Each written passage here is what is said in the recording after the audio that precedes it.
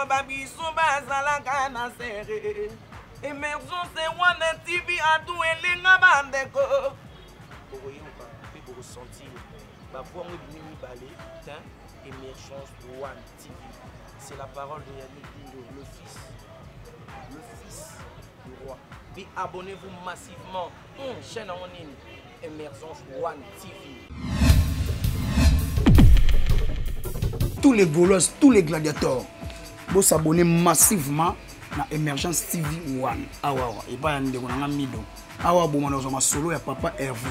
Bo banda yoka tous les politiques, ya Bible, ya sangisa ba congolais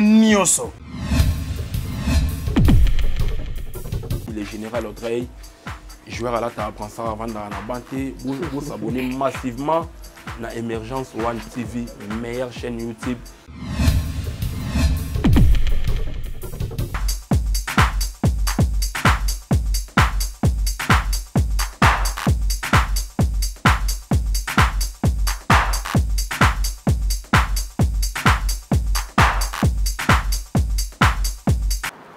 Bonjour chers téléspectateurs, nous sommes ici sur Willery et dans une conférence qu'organisent les structures des notables de l'IDPS avec une conférence, le thème dénommé L'état des droits, un combat pour nous tous. Nous sommes ici au centre des handicapés. Nous allons avoir les intervenants ici aujourd'hui. Ça sera chaud, tous les cadres de l'IDPS seront ici. Au niveau de la permanence, nous attendons le secrétaire général Augustin Kabouya qui sera ici dans un instant. Euh, venez nombreux, euh, chers téléspectateurs, abonnez-vous massivement sur notre chaîne Emergence One TV. C'est là où vous aurez toutes les informations à ce qui concerne la politique de notre pays. Restez branchés. Je vous reviens à tout à l'heure. Message devait adresser à son Excellence, Monsieur le Président de la République et chef de l'État, Monsieur Félix Tshisekedi Chilombo. Excellence, nous les notables de l'IDPS présentons nos voeux, le meilleur à son Excellence, le Président de la République et chef de l'État, et à la Première Dame, ainsi qu'à toute sa famille. Que le Dieu de nos ancêtres les comble de la sagesse afin de mener avec succès la destinée de notre nation. Bonne et heureuse année 2021. Bisoba notable, ya IDPS, tozali kotombela mobu molamo na mokonzi na son excellence félix antoine tshisekedi chilombo mbula oyo ezala esengo mpo na bapeuple congolais na mosala nyonso akosala. Nzambe wa likolo apesa ye bwanya mayele mpo ete ekolo na biso etombwama. Sika nazalaki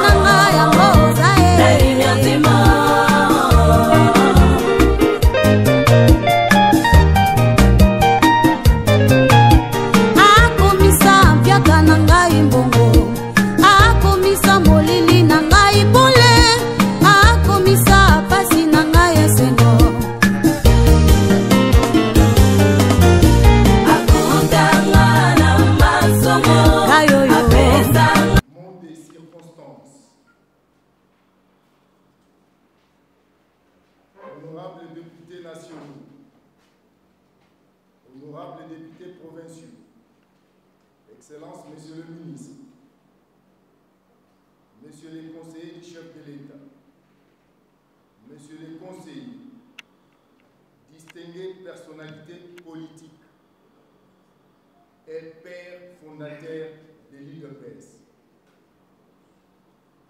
Monsieur le secrétaire général de l'IDPS représenté, Monsieur le président de la Ligue de jeunes, Madame de la Ligue de femmes représentées, Monsieur le Président fédéraux,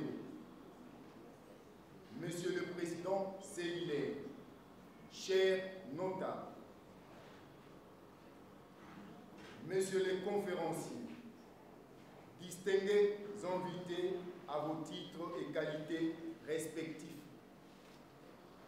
qu'il me soit permis de saisir cette opportunité de vous remercier d'avoir rehaussé de votre présence à cette conférence en défi de vos multiples occupations. Au prélude, nous sommes une organisation composée de membres de l'IDPS, dénommée la structure des notables de l'Union pour la démocratie et les progrès sociaux en sigle, SNIT par IDPS. Notre structure est affiliée à notre cher parti IDPS en sigle. Elle est une organisation qui vient en appui et en accompagnement de l'idéologie politique léguée par nos pères fondateurs au sein de l'IDPS. En outre, la SNIT bar IDPS prône les valeurs démocratiques telles que dictées par le chef de l'État, son Excellence Félix Tshisekedi Chilombo. C'est dans cette perspective et acceptation de pérenniser cette vision politique qu'est né notre motif de tenir l'organisation de cette conférence, dont le thème principal est intitulé État des droits, un combat pour tous.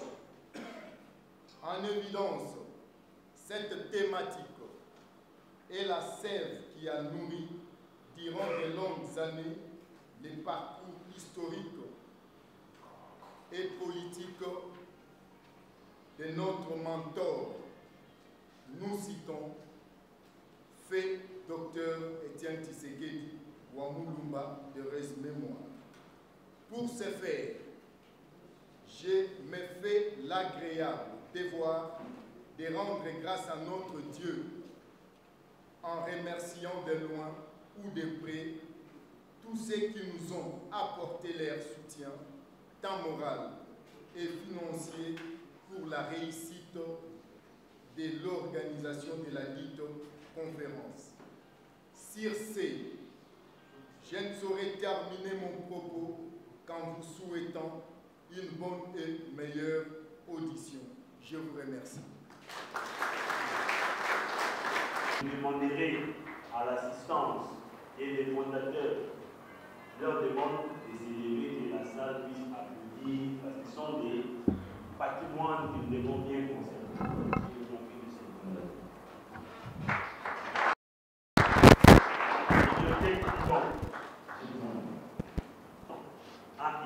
le président Jean-Marc Kabou et le secrétaire général Kabouya sont représentés par le président Emmanuel, le président de l'Union des Jeunes. C'est ainsi qu'à leur place, nous accordons la parole au président Emmanuel pour placer un mot concernant cette cérémonie. Je vous en prie, monsieur. Viva Viva Comprenez que euh, je suis dans la peau de commandant ou le général de la Ligue des jeunes de l'IDPS. Je ne peux que commencer mon petit speech en vous réveillant un peu. Le 31 janvier, c'est aujourd'hui, les derniers jours du premier mois, euh, n'est-ce pas, de l'année 2021. Permettez-moi de pouvoir vous souhaiter bonne année, bien qu'en retard, meilleurs vœux à tous, parce que cette année, c'est l'année plus que de l'action. Le chef a dit Moussala et Bandi, qui saluent les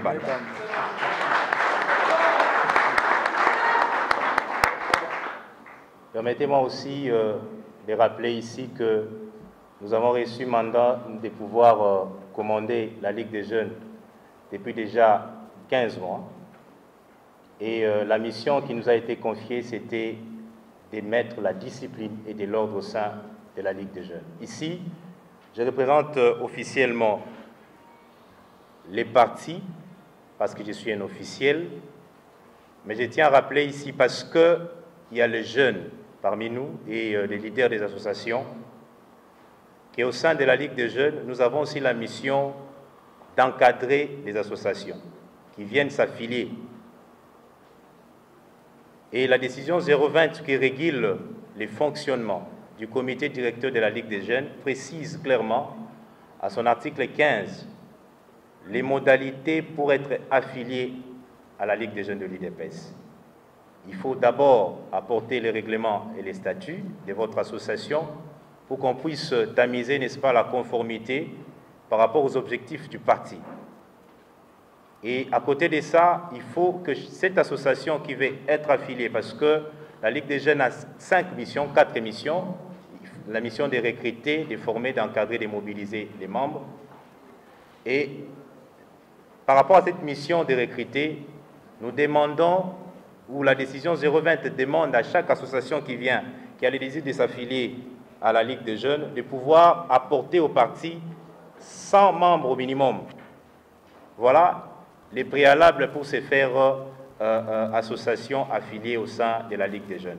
Et toute association qui vient s'affilier doit suivre le mode opératoire du parti et de la Ligue des jeunes.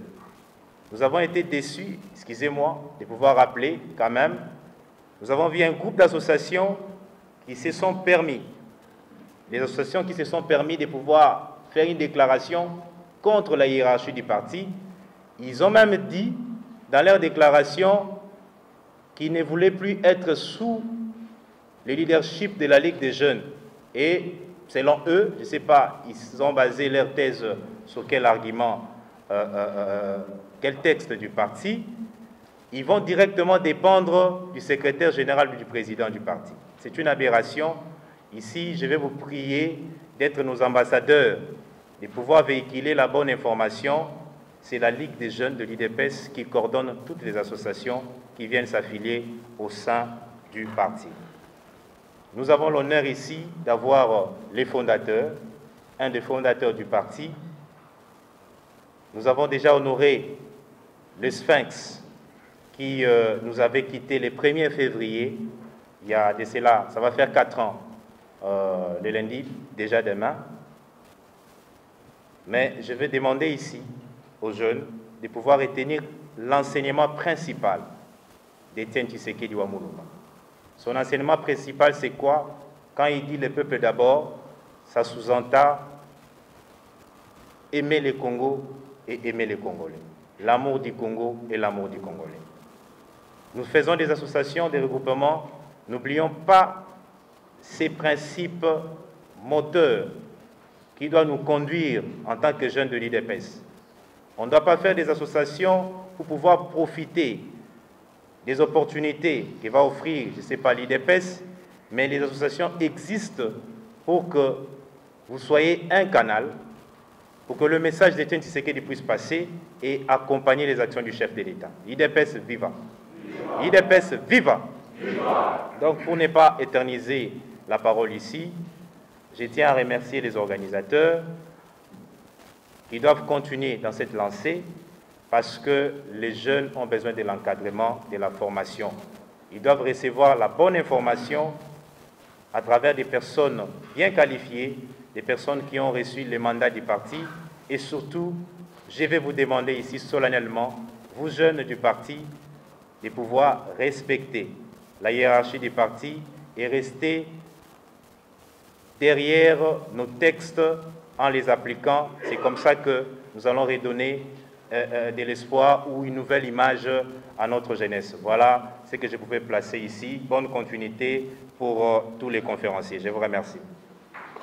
Le filtre. Maintenant, c'est Xavier Carlos, notable aussi.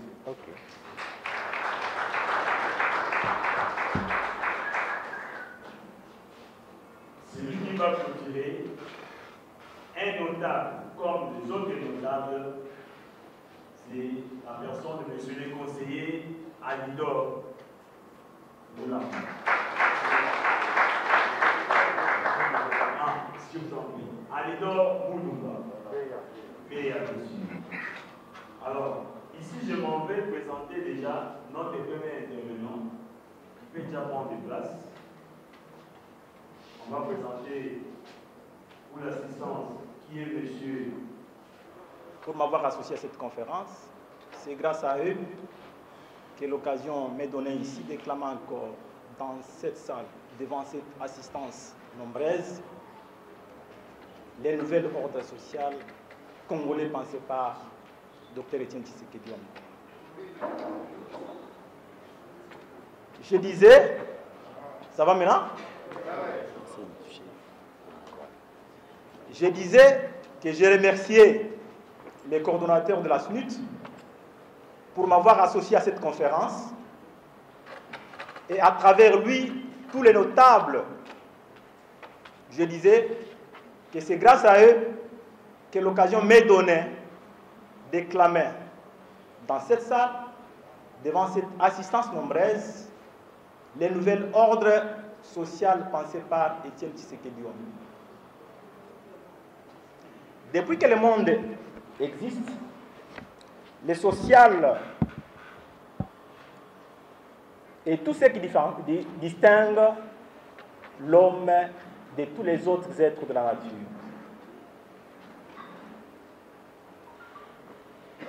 Dans les sociales, le travail contribue d'une manière forte à l'amélioration des conditions de vie des hommes.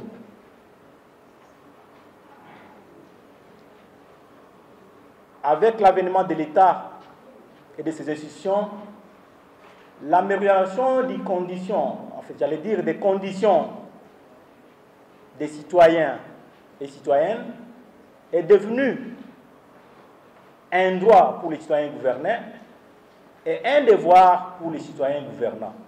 Demain déjà, euh, c'est une série de... Programmation divine, comme vous voulez le dire. Tout a été planifié par euh, le Tout-Puissant parce qu'il a compris que le peuple congolais a assez souffert il faut délivrer ce peuple. C'est pourquoi il y a les Josué qu'on appelle Félix Antoine Tshisekedi qui vient maintenant faire entrer ces peuples-là au Canaan. Nous allons vivre maintenant les Canaan. Et déjà à l'Assemblée nationale, euh, il y aura un changement parce que le bureau maintenant, le bureau définitif va servir le peuple et non un mot d'ordre. Besoin d'être patient. Vous savez, euh, même lorsqu'il y a eu la traversée euh, de l'Égypte, ce n'est pas tout de suite que les peuples israélites ont commencé à jouir des, des, des fruits de Canaan doivent être patients. Nous avons patienté pendant 32 ans. Les temps qui restent pour que nous puissions, n'est-ce pas, bénéficier de notre combat, c'est un temps court. Donc euh, le chef de l'État est en train de mettre tout sur le point pour que, que vous soyez politique ou non, que vous puissiez jouir euh, des avantages de notre nation. Mais écoutez, euh, ce qui s'est passé, c'est de la démocratie, et puis la pire démocratie. Et maintenant, le, nos députés, il faut les féliciter, parce qu'ils ont compris que euh, travailler pour un individu, ça ne vaut pas la peine, il faut plutôt travailler pour euh, la nation et le peuple. Confirmez-vous aussi que les cahiers de charge, ce n'est pas les postes, c'est l'électricité, l'eau et les infrastructures. Et, et, évidemment, évidemment, quand on dit peuple d'abord, on ne dit pas poste d'abord. Donc c'est le peuple d'abord, il faut travailler pour le peuple, il faut s'investir pour le peuple et non pour les postes. Il vous reste que trois ans, qu'est-ce que vous pensez, vous faire Ok, euh, vous avez déjà avec les deux ans, les, dé les déboulonnements s'est déroulé, c'était l'essentiel, c'était la fondation. Maintenant, il faut, euh, comme le chef l'a dit, Kissalome Banda, les travaux, les travaux vont maintenant commencer. Un petit message pour le, le jeune de Mwamba qui vous a Ok, je vais dire à tous les jeunes de, Mo de Moamba de continuer à, à, soutenir, à accompagner les chefs de l'État. Quand je dis accompagner, ce n'est pas regarder de loin, mais de participer, de participer à l'action gouvernementale du chef de l'État. Et euh, tous, nous allons récolter les fruits euh, du changement qu'apporte Félix Antoine Tshisekedi. On va maintenant faire le partage équitable et équilibré. Le travail lui-même, c'est quoi? Le travail, on le définit comme étant un ensemble des activités humaines qui sont organisées et, et coordonnées en vue d'atteindre un résultat. Mais pour les économistes, le travail, c'est une activité qui est rémunérée.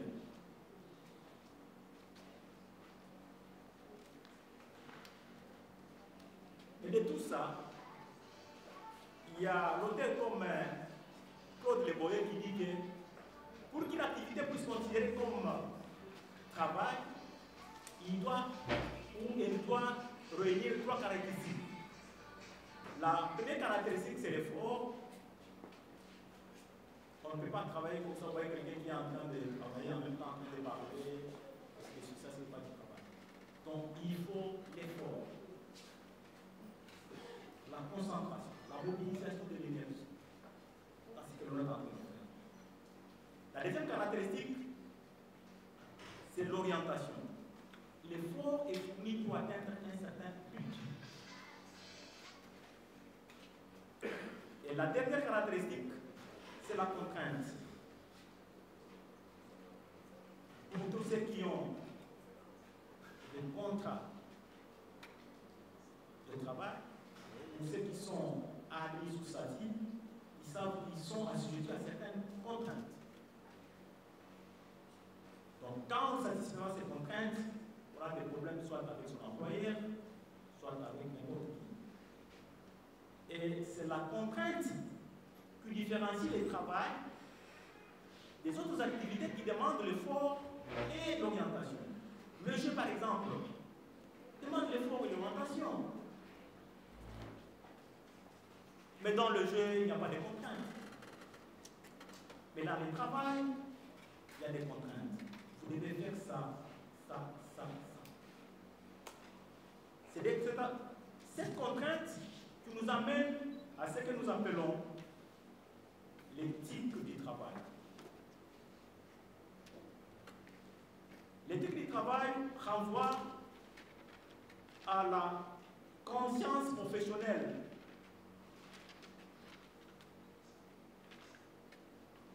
Et on l'appelle comme l'acte par lequel l'esprit de celui qui travaille s'est reconnaît dans ses obligations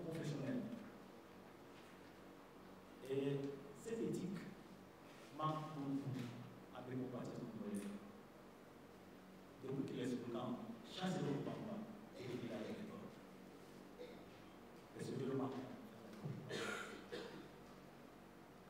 Ce sont là les trois concepts que nous avons voulu que nous puissions comprendre ensemble avant d'entrer dans notre question de culte social. Donc, l'ordre social, le travail et l'éthique du travail.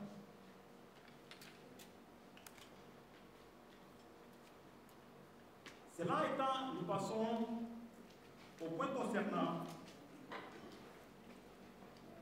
les guides dans les partis présidentiels de 1960 à nos jours. Parce que nous l'avons dit dans notre problématique, que tant que les fondateurs, les concepteurs, les créateurs des partis politiques n'énoncent pas clairement l'amélioration du social dans, les noms des partis politiques, ils n'en feront jamais une préoccupation. Et nous allons découvrir avec vous ensemble que ce que nous sommes en train de dire ici, c'est vérifié euh, depuis 1960 jusqu'à nos jours.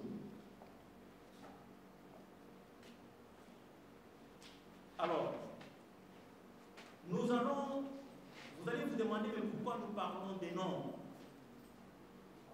Pourquoi nous avons évoqué ici les noms Ici, j'ai intitulé la phénoménologie du nom comme écrit. Les noms permettent de nommer un être, une chose. Les noms permettent de désigner un être, une chose ou un concept. D'une manière générale, les partis politiques congolais sont, leurs noms sont considérés des concepts. On vous dira révolution. On vous dira, c'est pas pas quoi que ce soit. On vous dira libération. Il y, a, il beaucoup de concepts comme ça, innovation, rénovateur, transformateur, tout ça sont des noms, des concepts dont vous avez Alors, les noms, noms désignent les concepts. Et les noms finalement deviennent une manière de vivre, une autre existence et pratiquement un héritage culturelle et morale. Vous allez voir que lorsque les sympathisants d'un parti politique, d'une association, comprennent les énoncés de leur nom, ils finissent par s'identifier, se comporter conformément à ce qui est énoncé.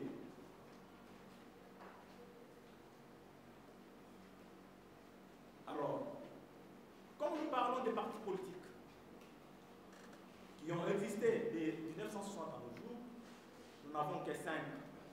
Et la présentation que nous allons faire ici n'est pas diachronique à leur création, mais nous allons prendre selon l'accession des leaders de ces partis au pouvoir. Et de là, nous prenons l'alliance des Bakongo. La. C'est de 1960 1965 que le leader a, de la a présidé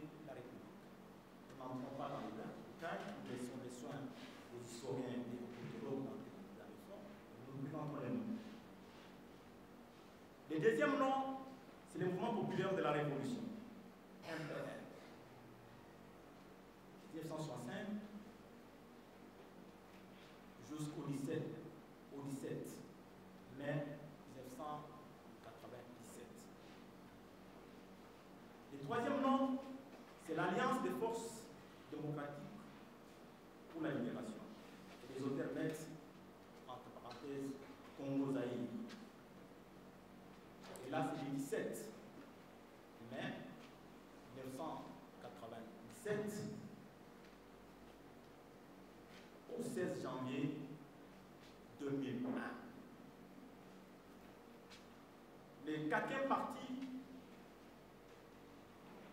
c'est le Parti du peuple pour la reconstruction de la démocratie. Il a été créé le 31 mars 2002. Vous savez que le président de ce parti a dirigé le pays du 21 janvier 2001 au 23 janvier 2019.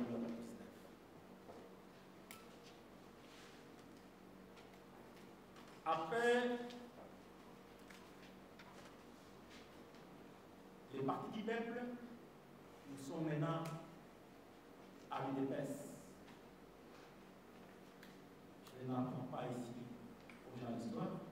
J'ai été avec de voir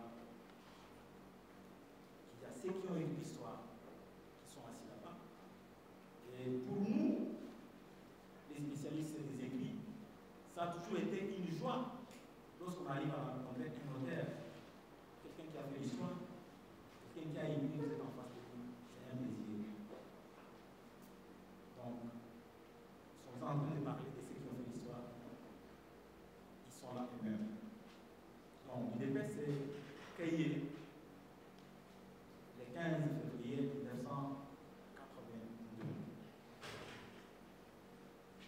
Mais il faut, il faut préciser que c'était en opposition au parti, au MR, parti ENA.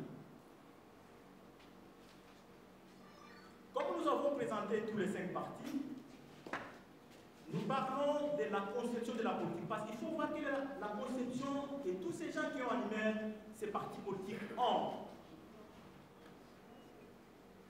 Et pour moi, je pensais que la conception aristotélicienne de la politique était la meilleure. Parce que pour cette conception, la politique, c'est la gestion de la chose publique, la meilleure gestion. Publique, Aristote, qui est cité par Eric Way, l'a définit comme étant une chose qui appartient à tout le monde qui doit bien gérer. De cette conception, nous avons deux visions démocratiques du Congo ou des classes politiciens. Il y a une classe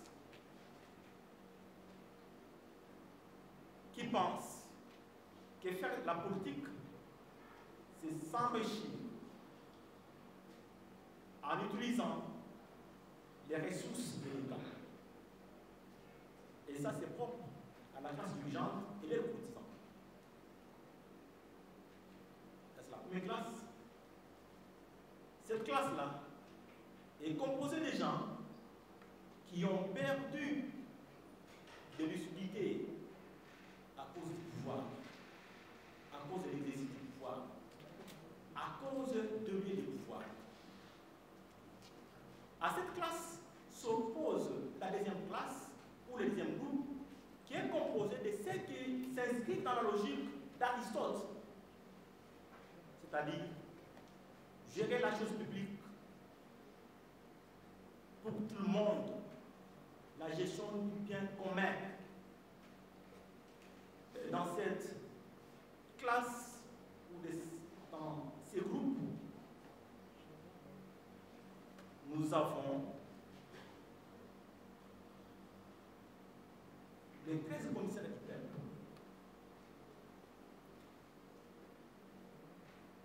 qui n'avaient pas perdu leur lucidité à cause de l'argent, à cause de l'exercice du pouvoir, à cause des rites de pouvoir, à cause des, lieux de pouvoir.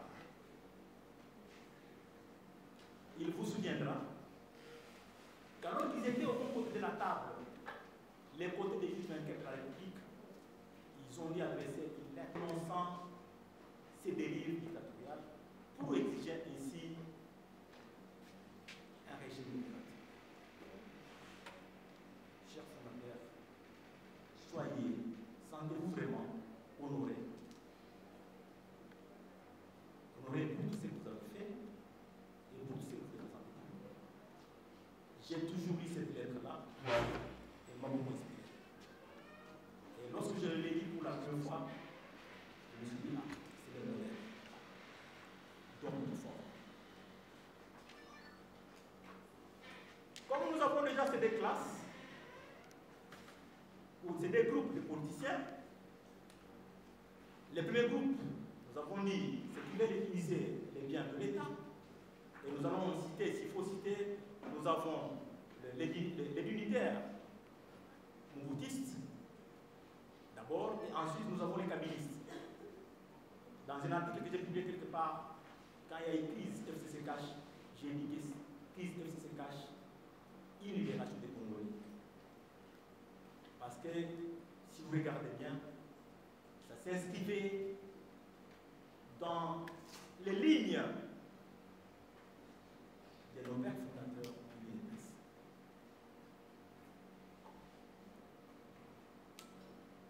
Maintenant que nous avons compris les groupes qui sont au Congo, politiques, qui sont sur la scène politique, nous savons bien nous identifier où est-ce que nous nous faisons partie de quel groupe? Vous faites partie de quel groupe? Vous faites partie de quel groupe? Un groupe de politiciens.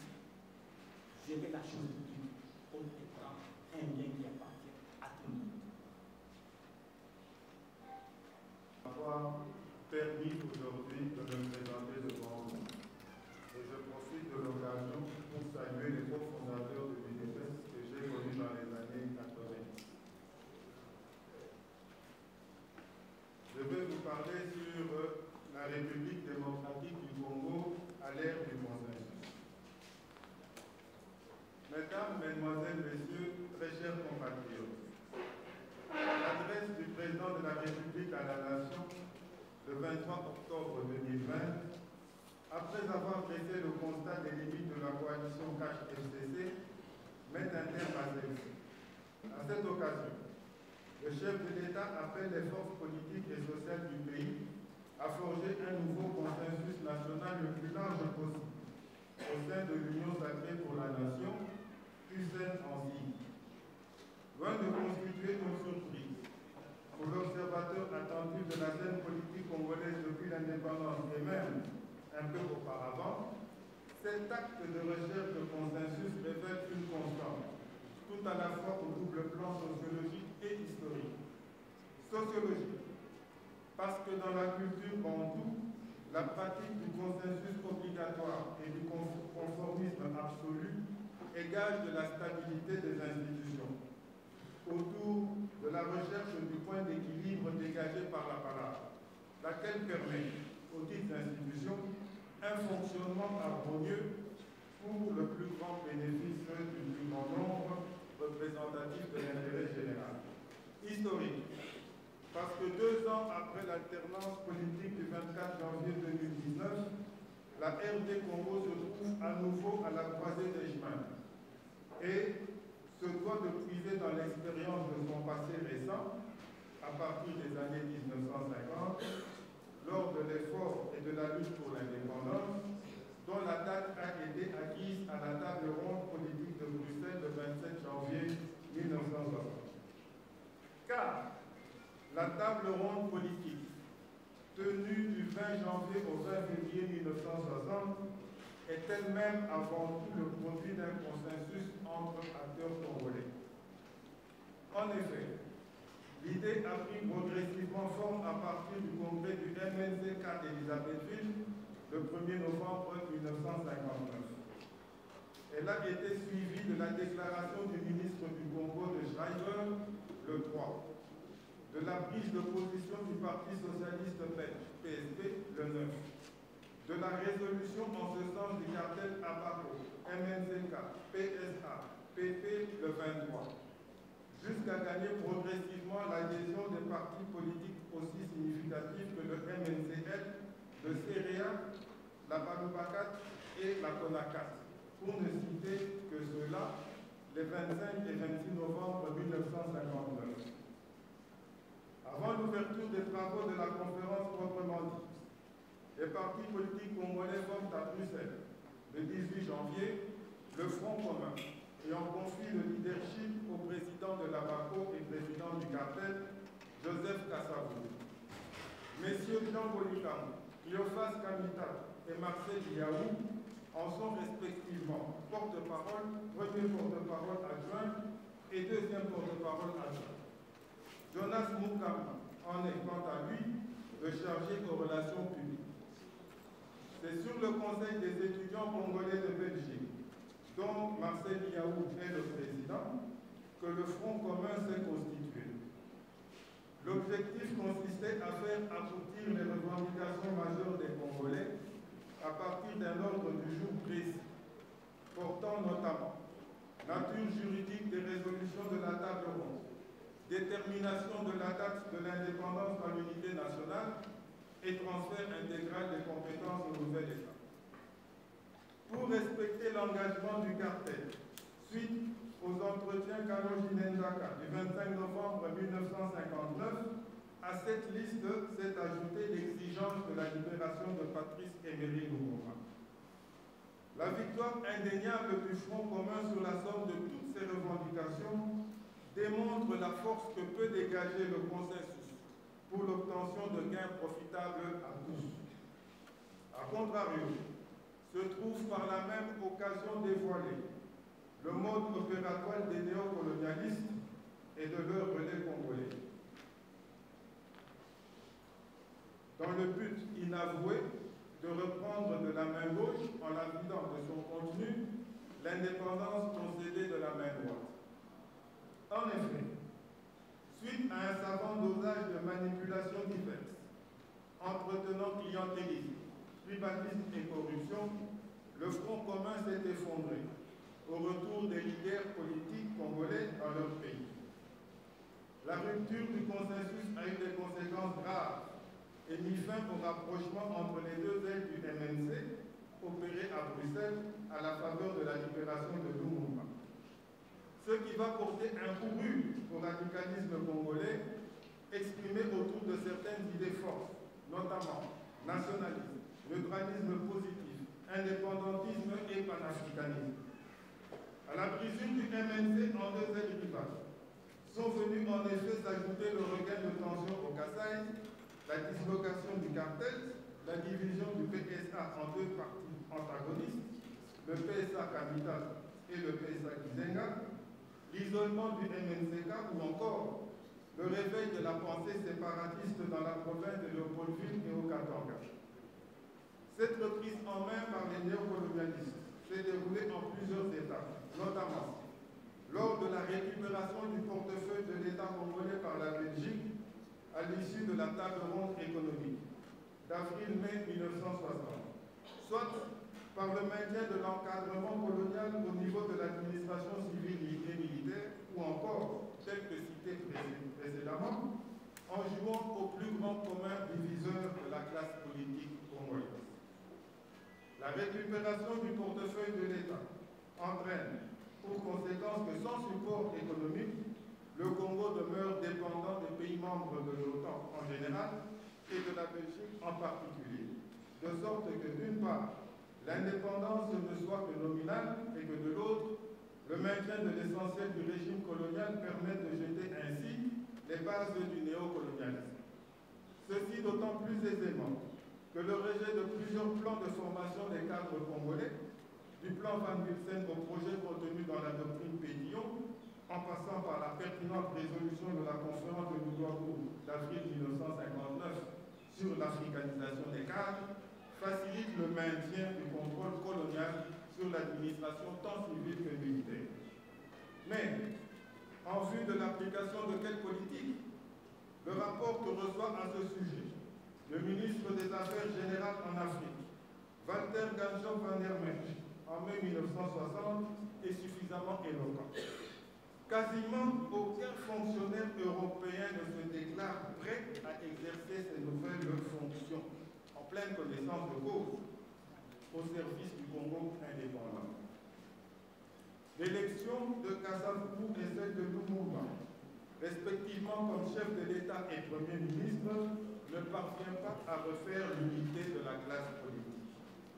Bien au contraire, Albert Kalonji, Maurice Diomé et Jean Bolikambo, leaders de grande importance, représentant chacun à sa manière une frange non négligeable de l'opinion, se retrouvent relégués dans l'opposition. Au plan sociologique, la crise de légitimité, conséquence indirecte de la rupture du consensus du Front commun, quoique à l'état latent, existe donc bel et bien chaque au soir du 30 juin 1960. Et cette crise ne tarde pas à éclater au grand jour, fragilisant un peu plus le pays au moment où il aborde le village primordial de son histoire en tant qu'État souverain.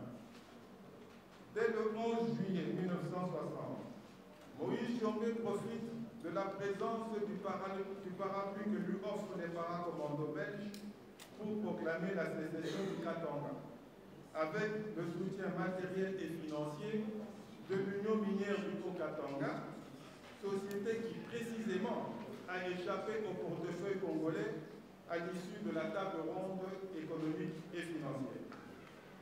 Par ailleurs, pour mettre un terme aux tensions dans la province du Kassai, la commission parlementaire Kim recommande la création d'une province séparée pour les Louba et tribus qui le désirent, conformément aux dispositions des articles 8, 150, 157, 159 et 130 de la loi fondamentale. Mais, avant même que le dit rapport ne soit débattu en plénière, le Parlement est fermé le 21 juillet, le 21 juillet 1960. Débute alors l'exode volontaire des Baluba vers Bakwanga, où le 8 août 1960, Albert Kalonji fonde l'État autonome du Sud Kassai, je cite, en état de légitime défense d'un peuple abandonné à son triste sort.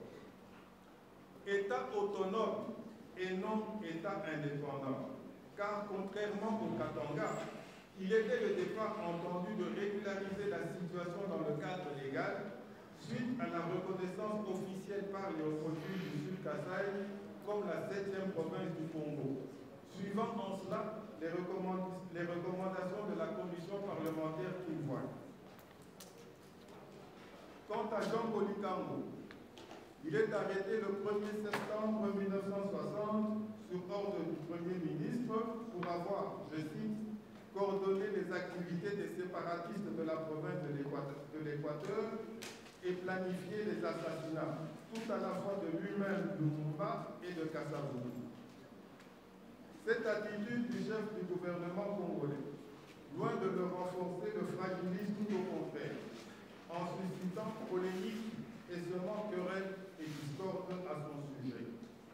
Au point d'apparaître comme un homme suffisamment controversé et amoindri pour que le 5 septembre 1960, Kazavou, le président Kassavou ose révoquer le Premier ministre Dougouma.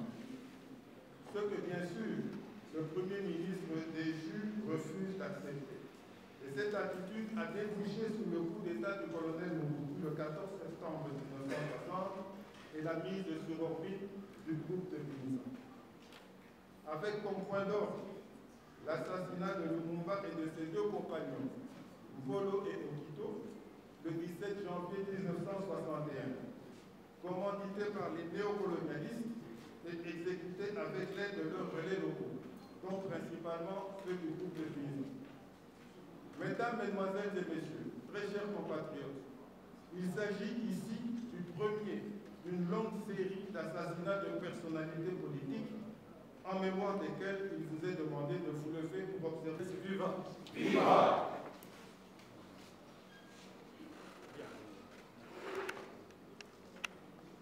Je vais vous parler ici, je vois que c'est audible, je vais vous parler ici la lutte contre. Corruption. La corruption reste à l'heure actuelle l'un des fléaux majeurs de la lutte contre la bonne gouvernance. Et donc, et, donc la corruption est donc. Vous me suivez maintenant? Je disais donc, la corruption reste à l'heure actuelle l'un des fléaux majeurs dans la lutte pour la bonne gouvernance et est donc un frein au développement non seulement pour la RDC, mais aussi pour tout le pays à travers le monde. Elle constitue un véritable fléau et toute l'urgence de l'éradiquer dans l'urgence. Bonjour, Un consensus s'est dégagé autour de la question et il est démontré que la corruption compromet gravement à l'élan du développement économique de tout le pays.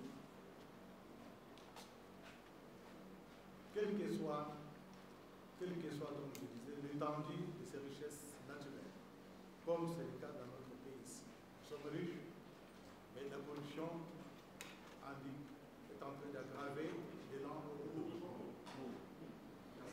mais qu'est-ce que c'est alors la corruption C'est quoi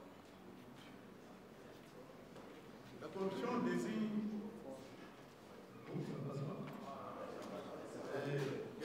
La corruption désigne l'effet pour une personne qui investit une fonction déterminée, publique ou privée, sollicite ou accepte un don ou un avantage quelconque en vue d'accomplir ou de s'abstenir d'accomplir un acte entrant dans le cadre de ce fonction. Pour faire simple, je dirais, la corruption est le détournement à des fins privés d'un pouvoir confié en l'État. Mesdames et Messieurs, chers invités, mon exposé va se focaliser sur les causes qui conduisent à l'inefficacité des politiques mises en place en République du Congo pour mettre fin à cette situation. Ou, au moins de dire, pour réduire sensiblement ces fléaux. L'inefficacité des politiques mises en place auprès des services désignés pour cette tâche noble qui est la lutte contre la corruption peut se résumer en, en quatre causes. Les quatre causes majeures, et je vous propose ensemble, nous puissions les examiner et parcourir quelques pistes de solutions. Donc il y a quatre causes que j'ai relevées. Les causes de l'efficacité de la lutte contre la corruption en République du Congo sont les causes d'ordre fonctionnel, les causes d'ordre systémique, les causes d'ordre financier, et enfin les causes d'ordre judiciaire. Commençons par les causes d'ordre fonctionnel. J'entends par là parce que j'ai observé, et cela est un constat que les coordinations des opérations, des enquêtes, des investigations et répressions visant à lutter contre la corruption sont diluées par des actes immoraux. Les agents et inspecteurs judiciaires commis à ces services mènent souvent des actions parallèles sur les mêmes missions. Ceci à leur propre profit, bien entendu, créant ainsi de la confusion. Dans cette confusion-là, des conflits naissent et, à notre avis, reste un conflit d'intérêts, souvent personnels, et des conflits de compétences entre certains membres des services spécialisés. Je vais citer ici quelques-unes, IGF, la DGI, la DGDA, le CNRF, aussi pourquoi pas l'APC des, des. La liste est longue. Ceux-ci, ces gens-là, ces agents-là et cadres, se livrent au marchandage des dossiers souvent chutés en leur possession auprès des opérateurs économiques et des mandataires de l'État. Ce comportement immoral ne favorise pas un réel recouvrement pour les comptes du trésor public. Il est important de souligner ici que tout opérateur économique, ici comme ailleurs, profite toujours de la faiblesse des agents de l'État pour faire des bénéfices sur le taux de cet État. J'entends les causes d'ordre systémique. Elles sont notamment l'absence de sanctions et impunité sur des personnalités du régime considérées comme intouchables, favorisant ainsi les trafics d'influence et les interventions de tout genre et à tous les niveaux, rendant ainsi la corruption systémique. Le manque donc, qui conduit le manque d'expertise de certains inspecteurs judiciaires et agents de l'État, de services donc, le manque d'expertise de certains agents dans les services commis à la lutte contre la corruption, le, le manque d'expertise dans le traitement des dossiers, manque d'expertise dans, les, enquêtes et investigations menées, et surtout manque d'expertise dans l'interrogation aboutissant souvent à un manque de qualification des faits suffisante pour poursuivre un dossier par les éléments et en cadre les gens qu'on envoie. Pour l'UDPS, l'Union pour la démocratie et le progrès social, nous sommes là. Euh, je crois bien que ça, c'est un membre du, quoi, des, du comité d'organisation.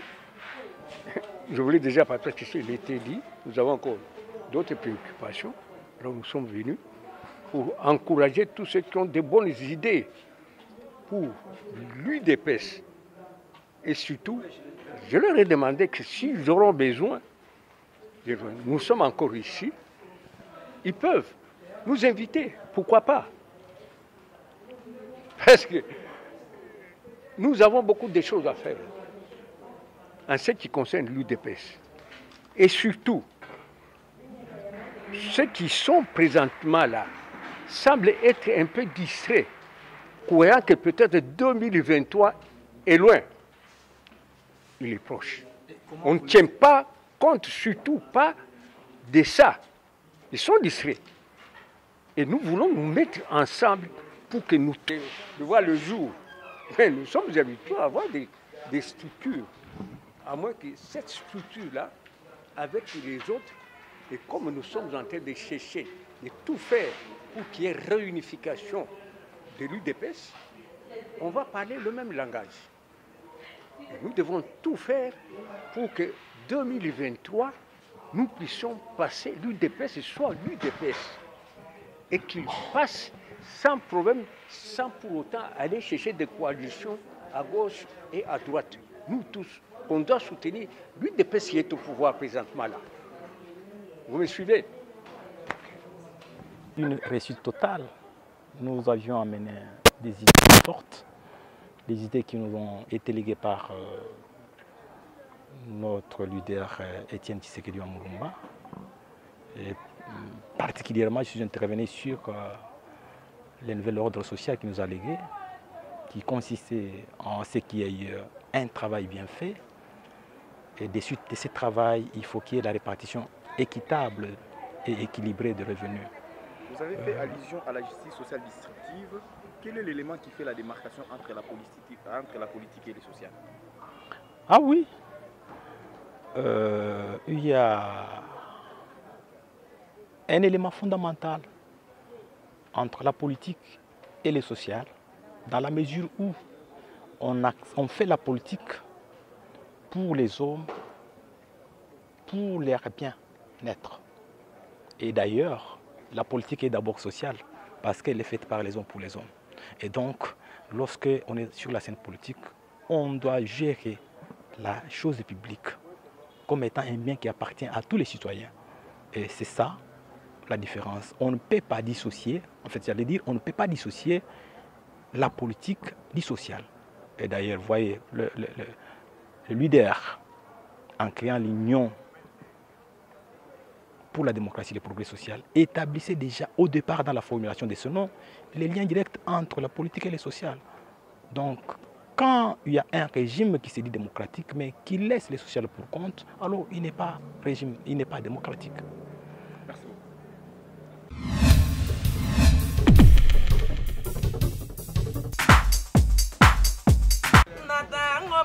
Bakoko babiso bazalaka na sere emergence wana tibi adu elenga bandeko. Bokoyoka mpe bokosentir bavwamo ebimi mibale émergence one tv c'est la parole de yannick dindo le fils le fils du roi. Puis abonnez-vous massivement. Hum, chaîne yango nini émergence one tv tous les Gaulois, tous les gladiateurs, vous s'abonner massivement na Emergence TV 1. Awa awa, et pas solo papa Hervé. Bo banda yoka tous les masolo politiques, masolo ya Bible, masolo ya bo ezo ezo sangisa ba congolais le général joueur à la ça avant vous abonnez massivement à Emergence One TV, meilleure chaîne YouTube